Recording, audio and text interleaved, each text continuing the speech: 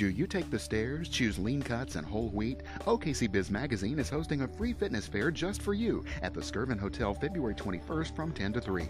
Come out and meet other individuals and businesses promoting health in our community and learn about the Fittest Execs program, an initiative by OKC Biz Magazine to recognize and promote area executives who prioritize health and fitness in their lives and within their organizations.